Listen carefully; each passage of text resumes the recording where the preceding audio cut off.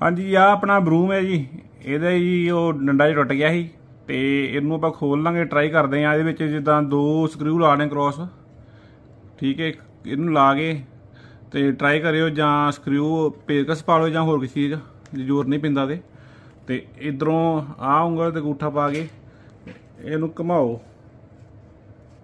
ਥੋੜਾ ਜ਼ੋਰ ਲੱਗੂ ਇੱਕ ਵਾਰੀ। ਆ ਲਓ ਜੀ। ਐਂਡ ਘਮਾਈ ਜਾਓ ਇਹਨੂੰ।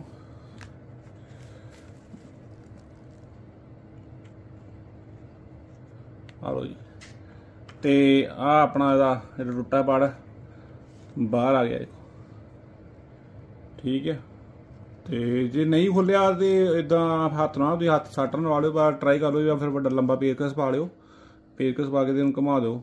ਖੁੱਲ ਜੂਗਾ। Okay thank you